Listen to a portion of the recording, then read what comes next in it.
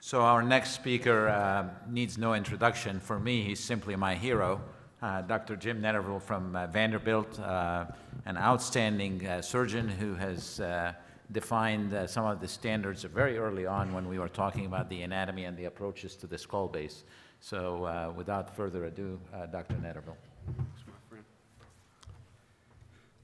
We've got 15 minutes to give a two-hour lecture. No, I was. the beauty of speaking last is I sat back there and adjusted my lecture to cut out all the overlap. I'm going to back up now and talk to the young doctors in the room, the ones that are aspiring skull-base surgeons, because I think each of the previous surgeons, let's see, nothing to disclose, have discussed well that this is not an either-or situation That we have all these different approaches. And sometimes I have one slide and it has a, the skull base approaches to the lateral skull base. There's 13 arrows and 13 names. I can't remember who did what. Uh, so I think that many times an approach is just so that one of us gets our name on something, and it's not very practical. So approaches in head and neck surgery really create narrow minded thought. If I teach a resident on a head and neck case, this is the way you do it, you always follow these steps every time, work to my, my, my father, work for me, it'll work for you. You have just narrowly focused a resident, and when something gets out of that field of view, he can't function. She can't function. So, approaches, surgery is far more than following steps. And the real key to any approach in tumor resection is you have to have a keen understanding of the anatomy of your region, and each of our professors have demonstrated their keen understanding of the anatomy of the region. Then you have to understand an in-depth knowledge of the pathophysiology of the tumor. I tell the residents all the time, a one centimeter adenoid cystic in the infratemporal fossa, take out a small margin, radiate the microneural disease. A one centimeter recurrent, poorly differentiated tumor in the infratemporal fossa, you're going to take out the whole post-radiation, you're going to take out the whole infratemporal fossa same size malignant tumor, same location, but you have to understand the in depth knowledge. And finally, the question that I sit surgery is the simplest thing we do. All of us can cut someone's head off, put it back on. It's not hard. Deciding when I'm going to make that person's life better and when am I going to make their life worse. Is the cure worse than the disease? I want them to have quality of life. So in skull base surgery, I see my friend Paul smiling back there. One of the huge issues all these years was how do we leave people with quality? I've seen people come to other institutions and have big resections and sit in wheelchairs with strokes, drooling at 30 years old. Maybe the wrong decisions were made in doing their resection. So, this is really key. What anatomy can I take out that will leave this person with quality of life and cure the disease? so back to the residents and young doctors. if we're coming into the central skull base, there's two holes, the foramen rotundum and the Vidian canal. These guys are, I guess this is a laser pointer, this is a red dot as well, yes. These two fellows are a roadmap to the skull base. If I go through the foramen rotundum, it's five millimeters to the dura. If I go through this hole right here, it's two centimeters to the carotid. It's a very simple bit of anatomy, but when you really understand that anatomy, it opens up the entire skull base to the surgical procedures you've just been watching. And here we see this in an artist's rendering from the lateral approach. Here's the foramen rotundum, five millimeters to the dura. The beauty is the Gasserian ganglion is, ex, is not extradural or intradural. It has dural on both sides of it. So you can resect out the whole Gasserian ganglion and you don't get CSF leak until you get right here. You can take out the V2, V3 for an adenoid cystic and save V1 as necessary. And here we are, angiofibromas, other tumors, two and a half centimeters, two centimeters to the carotid artery. So surgical access endoscopic has been a remarkable boon to decrease complications. But I'm going to give you the in-between. Again, it's not, there's not surgical approaches. It's how can I best get in, take out this tumor without hurting this patient? I'm going to show you through this approach, they lose a little bit of sensation of a couple of teeth, but I don't have to take out any intranasal structures. You've seen many approaches where most of the intranasal structures are taken out. and then an extension comes to the infratemporal fossa, an extension goes somewhere else. In smaller tumors, I've, I've removed all the big tumors for you. We're going to look at some small, simple tumors. If you do this transmaxillary approach, then you can not even touch the intranasal anatomy. No facial incision, excellent visualization, excellent for the midline, but the limit, this is the endoscopic approach, but the real limitations of the endoscopic approach are, as all of our speakers have talked about, is the infratemporal fossa and the destruction of the intranasal anatomy. So here is a small petrous apex granuloma, and this is, I'll show you this. Why, how would we make our judgment on this? This young man has had an ear approach for cholesterol granuloma. It's been resected twice. There's a piece of silastic sheeting right here. And now we have this lesion and he's getting headaches. This is a perfect endoscopic approach because we don't need to destroy this uh, anatomy in this region. And so I'm hoping uh, the videos play. It's always a great relief to a speaker when the videos play. So we see the cholesterol granulomas coming out of there. You just say a little prayer to heaven when the videos play. And in this young man, it doesn't want, you'll have to advance to the next slide for me, friend. I told him at the end I was going to buy him coffee, the fellow that's running all this. And so now we're actually using frontal sinus instruments and a 70 degree scope to come all the way up in here and look, and here's the silastic sheeting. So this is a great endoscopic approach, not a transmaxillary approach, because I can see here, I don't even have to hurt endonasal anatomy to gain this. Um, in this situation, you can save all the turbinates, working past the turbinates, and eventually we just reach in and pull out that silastic sheeting. Next slide.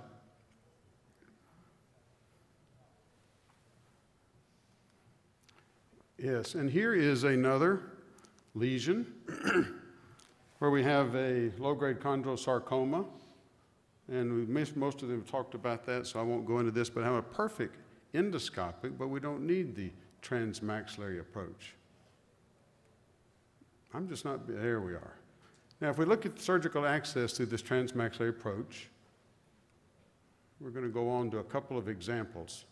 Here's the wife of the chairman of medicine. He's in the Institute of Medicine, and there was a lot of debates about what approach to do this, but we can all see this is a small schwannoma of V2 probably.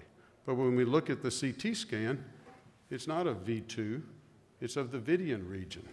So transmaxillary takes about 20 minutes to get in there, remove the posterior wall, dissect out the lesion. Now, I have a rule in skull-base surgery. If you get into the cavernous sinus, which many of these do, you have to tell jokes for five minutes with pressure, and you're golden.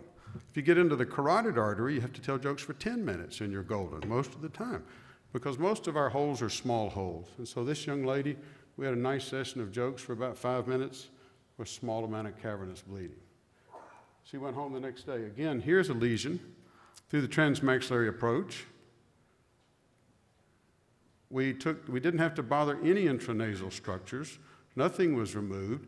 Binocular visualization, amputated it and put a small sheet of alloderm there, and she was cured from this encephalocele. Here's a much larger lesion. This you're not going to do endoscopically, so an intra, a transmaxillary approach. Now, the, the beauty of these is for the cavernous sinus. Here's a young man with an angiofibroma. You can see in this situation, it's in the infratemporal fossa. And what's important to note here, this is where it's lost. I just redid another angiofibroma recently that was done endoscopically. The endoscopic approach is excellent in, in some of the most mature endoscopic hands in the world. But in many of us, maybe it's, it's hard. See this right here? People leave this. There's the pterygoid plate. There's the angiofibroma that's invested all in the temporal, petra, temporal apex in this region. And so we've got to gain quite laterally. And I saw another one recently, and the recurrences were here and here after an endoscopic approach because it just couldn't go laterally. This patient also has what we see for the residents in the room the rotundum, the vidian. Angiofibromas grow up here. This is where they live. So, an angiofibroma is like a piece of Play Doh that's shoved against the skull base and it goes into all the different openings. So they often go up into the cavernous sinus, and here is the extension into the orbital cavernous sinus. That's quite easy to remove through the transmaxillary approach. Here's the transmaxillary, here's the endoscopic approach, just looking at the lesion. Now, here is the transmaxillary approach. Can you stop the video at some second if I ask you to? Not right here. There's the tumor, the, just showing that we've gotten the inferior aspect of the tumor up. There's the greater palatine nerve. Now stop the video right there. Now you can see very well here. Here's the infraorbital nerve, saved beautifully. The lateral pterygoid plate, the medial pterygoid plate, the orbital extension of the lesion. It's all 3D, two hands. In fact, my fellow has two hands in the wound, and I have two hands in the wound. So teaching is phenomenal. Go ahead and play the rest of that video. So here is the origin of the tumor in the Vidian canal, and the rotundum is saved beautifully in this setting. Now, most of the time, you can then deliver, let's see here. You can now deliver virtually all the tumor. The tumor is growing under the nasopharyngeal mucosa. So put an endoscope in to help yourself. I can deliver virtually all of it through the maxillary sinus. And then here's the small part right here going into the orbit by, not, by you know, both hands, by manual manipulation. I've already packed a little bit of fibrillar collagen into the cavernous sinus to slow down the bleeding in the cavernous sinus, and the entire lesion can be removed. You'll see quite a number of these. There he is postoperatively. They go home the next day. Normal nasal anatomy. I haven't heard anything in his nose, so he won't have to come back for decrusting multiple times. And he won't be like my partner who had a small procedure where his middle turbinate was removed and he, he still crust and still blows crust out 20 years after his procedure. So here's another lesion with extension of the angiofibroma into the cavernous sinus. I just got, I'll just take, show a couple of more slides and we'll get out of here. Another resection transmaxillary of this lesion right here. Adenoid cystic going back into this region is excellent. Any tumor uh, that you can open up the maxillary sinus and you don't need to, you know, here we're going to remove a lot of the nasal structures of the nose anyway, so it doesn't matter which approach you use, but it's very helpful. Here is a young lady with a, see foramen ovale here, foramen ovale here. Her husband was uh, manager of the Dodgers years ago. And so I was a joy to see this ring that covered half his hand from winning the, the World Series. I've never seen a ring like that in my life. And so here she is, transmaxillary approach. We're now going to take off the posterior wall of the maxillary sinus. That retractor for any of you Iowa grads is a remarkable thing, Paul. This is the McCabe Anforum retractor. Dr. McCabe had his hand in everything. It looks like a middle fossa retractor, but it was made for this purpose by Brian McCabe, an otologist. We're going to remove the mucosa off the posterior wall, and now we're dissecting. This is the infraorbital nerve. We're going to dissect, uh, fortunately for this schwannoma, we dissected off the lingual nerve, the infraalveolar nerve. They all came off. The tumor is removed. And here's the nerves, the infraorbital nerve, the infraalveolar nerve are still intact. Here's a young lady that most of the time I might do endoscopically, but again, these are people we wish we didn't have to operate on, but she's got a headache. And the neurologist and the family practice doctor and everyone's saying you've got to operate on her. Now, she has a very narrow window between her carotid and the basilar dura and this. You could push over the basilar dura and get to it. You could push over the carotid. But years ago, I was just to show this, I went to a transmaxillary approach to get to this. And here we are going through the transmaxillary cross court. We're not bothering intranasal anatomy. We're going right into the sphenoid sinus. Now, stereotactic image guidance is a wonderful thing, but it's an excuse for poor surgeons to do things they shouldn't most of the time. All right? So, what about stereotactic imaging is very poor back here. It's off millimeters. So I've got a perfect landmark right here. I went back and found that landmark and knew I had five millimeters to get into. So here we are right behind that landmark. Here's the opening. There's this small amount of lesion that's probably benign. Next slide. And now we're looking all the way through and we're looking into the air cells of the petrous apex as this is getting completely removed. Didn't have to expose the carotid, didn't have to expose the dura. So I'll just go right on to the end of these few little slides.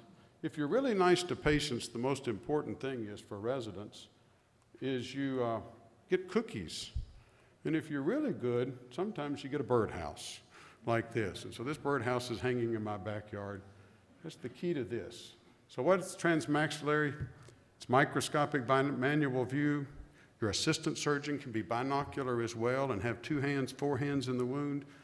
Uh, there's less, there's no intranasal injury most of the time, and it's beautiful for infratemporal fossa access and lateral clivus. Thank you very much.